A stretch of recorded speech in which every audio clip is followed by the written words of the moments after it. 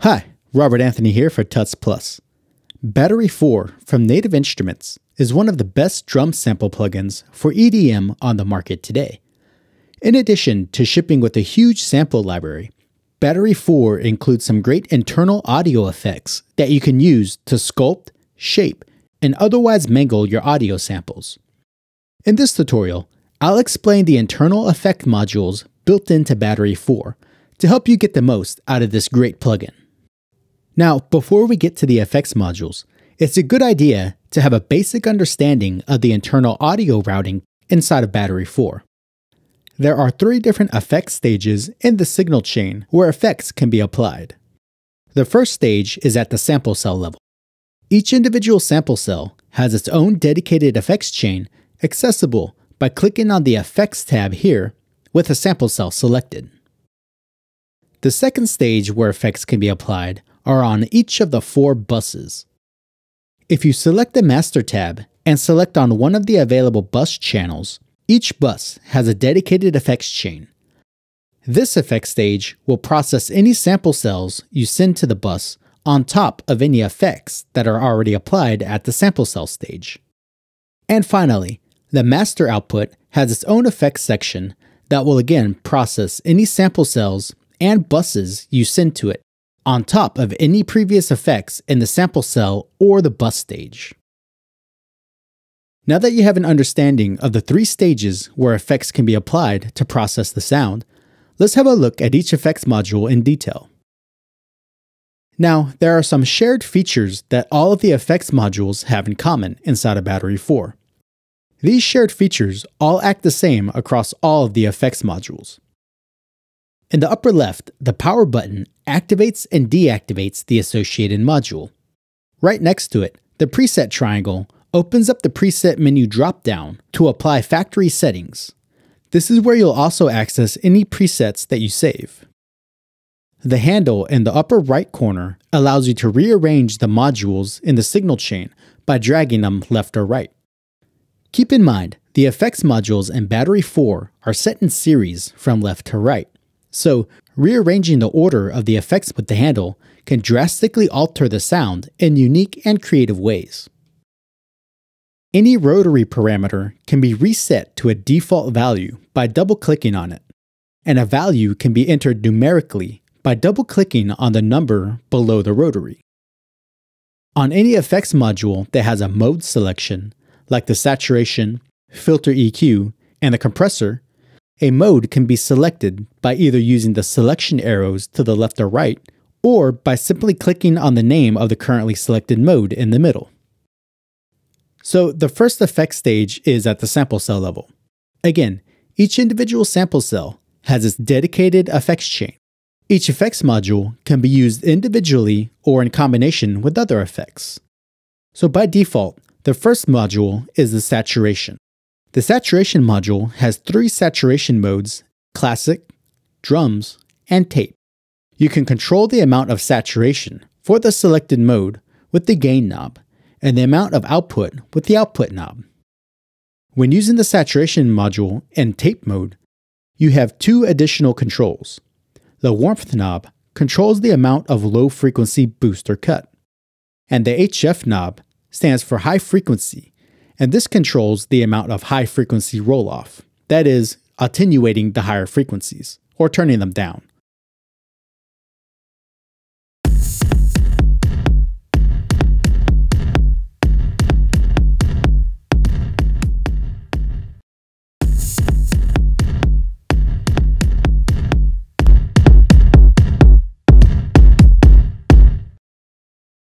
Using this can give your drums that vintage, warm, and kind of muffled sound that you hear sometimes. Next is the Lo-Fi. Lo-Fi module is used to decrease the resolution and sample rate of the incoming audio. The Bits knob is used to reduce the bit depth of the audio, while the Hertz knob will reduce the sample rate, which can go all the way down to 50 hertz. The Noise knob will introduce some noise into the signal and the color knob will adjust the frequency content of the noise. Reducing the bit depth by a fractional amount will add a lot of dirt and grit to the audio. This can be useful for static effects, like grunging up a snare hit, for example.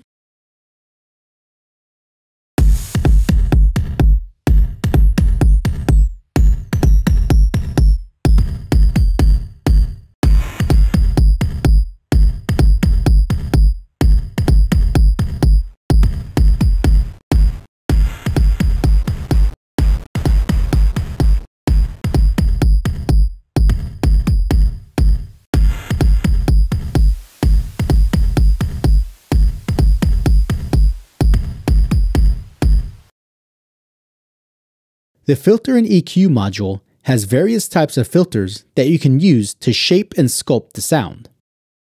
The mode selection lets you switch between different EQ and filter types.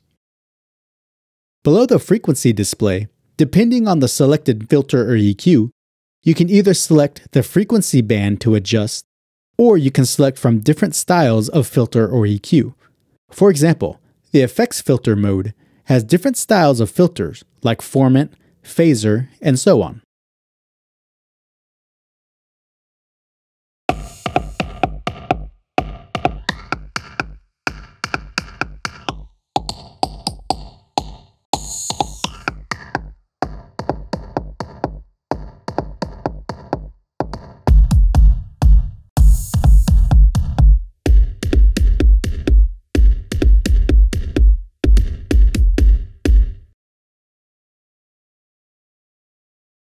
The compressor module lets you compress the dynamic range of the incoming audio and can be used to add punch or tame out of control transients.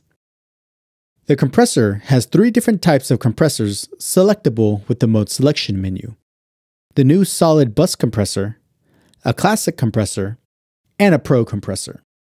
Each compressor will add a different sound character to the audio. The threshold and ratio knobs are used to set the level at which compression takes effect and the amount of compression applied, respectively.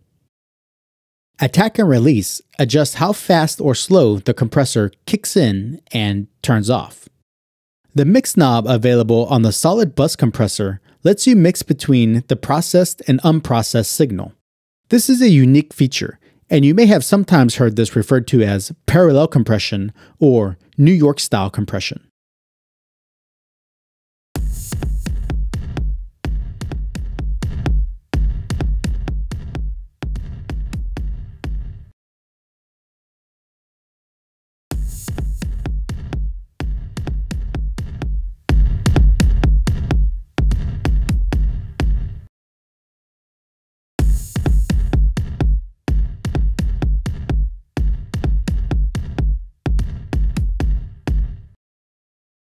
TM stands for Transient Master and is a slightly trimmed down version of the Transient Master component available for Guitar Rig.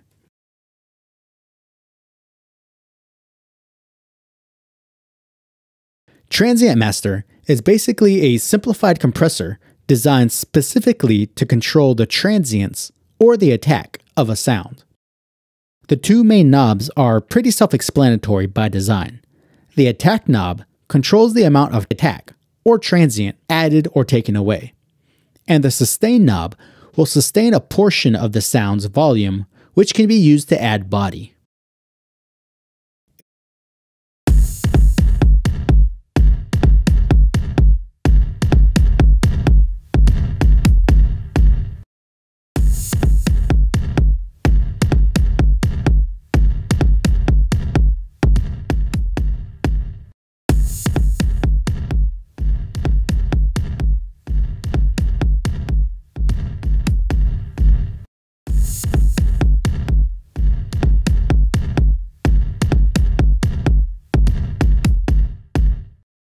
If we switch over to the Master Effects chain, the Master Effects chain, as well as the four routing buses, have some differences from the sample cell effects specific to mastering and summing down multiple audio sources.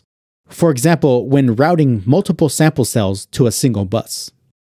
In place of the Lo-Fi effects module, the bus and the master effects section each have a limiter effects module. A limiter is an extreme form of compression that restricts the dynamics of an audio to an absolute level. This can be used for making quiet sounds louder or making louder sounds sit well in the overall mix.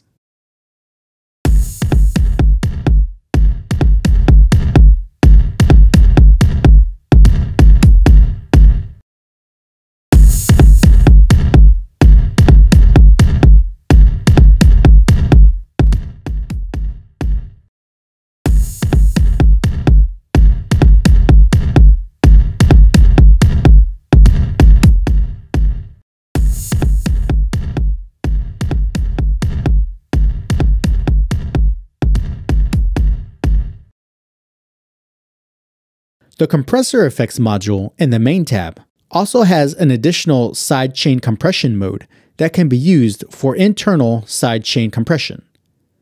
You can drag a sample cell into the source selection area to use that sample cell as the trigger for the compressor. So if I play a long audio file and I trigger the sample cell that I've set to be the source, you can hear it triggering the compressor and affecting the audio routed to that bus.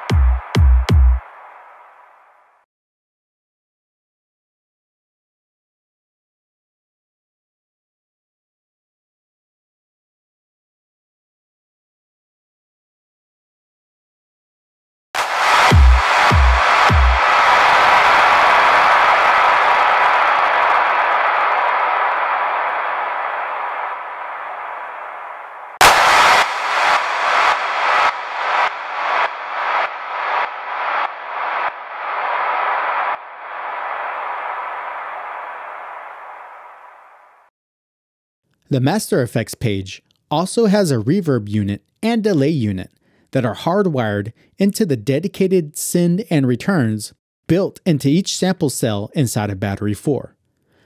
You set the delay and reverb settings and return amount globally. Then you can dial in the amount of send on the selected cell's main tab. Again, keep in mind that the delay and reverb settings are global, meaning that the settings are the same throughout Battery 4. You can, however, control the send amount on a per sample cell basis. The Reverb module has a modes toggle icon that switches the reverb between standard mode and convolution mode. Standard mode is an algorithmic reverb that uses mathematical algorithms to emulate an acoustic space. While convolution reverb uses what's called an impulse response file that captures the acoustic characteristics of an actual acoustic space, such as a concert hall.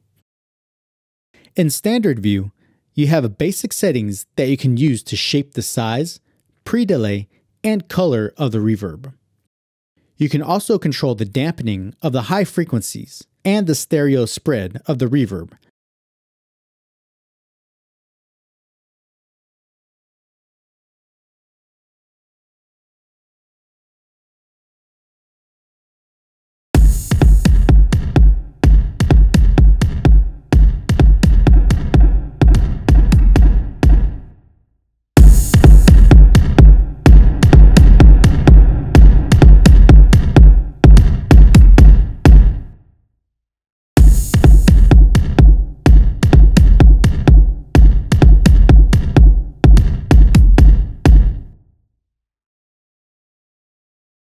In convolution mode, you can use the arrows next to the display to select one of the presets. You can also drag and drop any WAV file onto the display to load it as an impulse response. The delay module is a simple yet flexible delay. You can sync the delay tempo to your host with the sync selection menu. The feedback knob lets you set the amount of delay feedback. Now, the time knob would have been better named as a pre delay, as it sets the time between the dry signal and the delay taps. The pan knob acts as a stereo spread between each consecutive delay tap and can be used to create a ping pong type delay.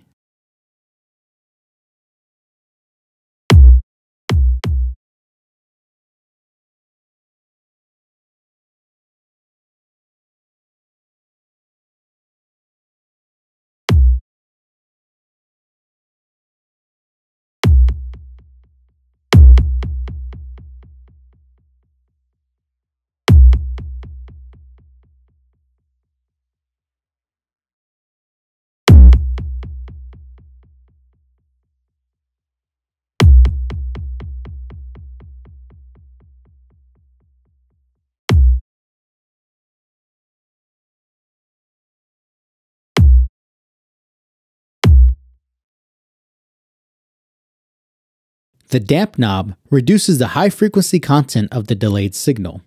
The higher the setting, the more high frequency content is reduced.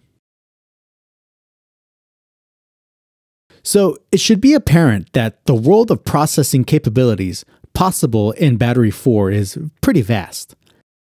These internal effects modules in Battery are a great way to add interest to your sounds, be it drums or otherwise. Keep in mind, you don't have to use Battery just for drums.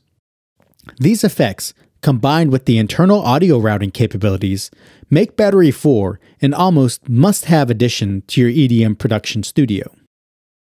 This is Robert Anthony for Tuts Plus. Thanks for watching.